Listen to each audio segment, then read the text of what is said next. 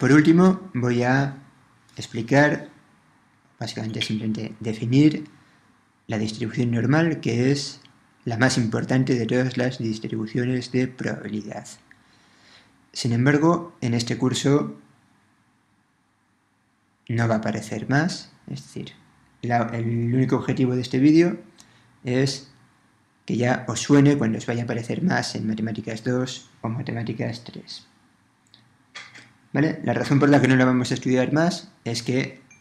es una variable aleatoria continua y en este curso estamos interesados en variables aleatorias discretas.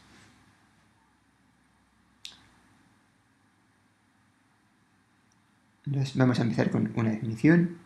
una, una variable aleatoria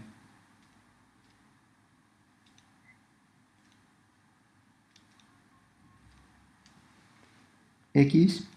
tiene una distribución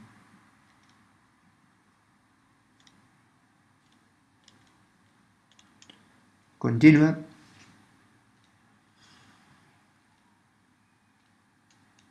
si existe una función f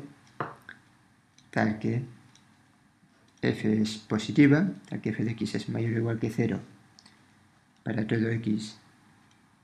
de R y para cualquier intervalo AB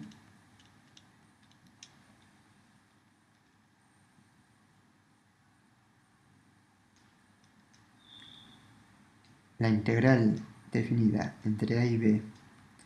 de f de x diferencial de x es la probabilidad de que la variable aleatoria x tome un valor en el intervalo AB. Es decir, una variable aleatoria x tiene una distribución continua si las probabilidades vienen determinadas por las áreas dadas por una cierta función positiva f.